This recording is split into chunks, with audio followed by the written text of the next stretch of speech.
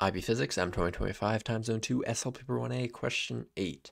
What is a primary cause of the enhanced greenhouse effect? All right, so first off, what is the greenhouse effect?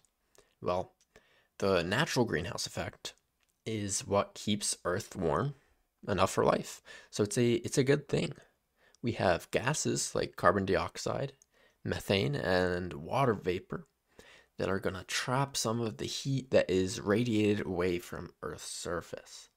And that prevents it from escaping into space. So, once again, keeping us nice and warm. So, it's a very good thing. It's normal, right? But what's not normal is the enhanced greenhouse effect. So, the enhanced greenhouse effect is the extra warming that is caused by increased concentrations of greenhouse gases in the atmosphere. And this is due to human activity. Right?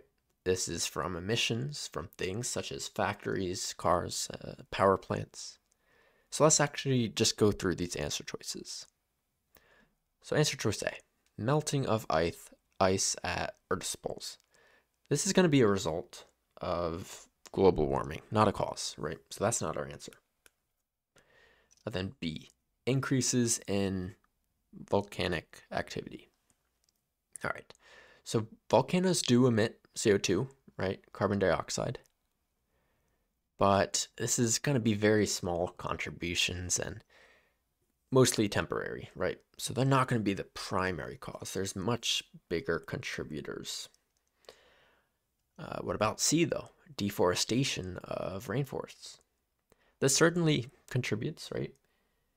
Fewer trees means less CO2 absorption. But D is is the better answer. Burning of fossil fuels. This is the primary cause, right?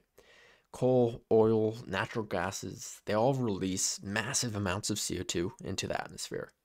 And this is what enhances the greenhouse effect. So answer choice D is correct.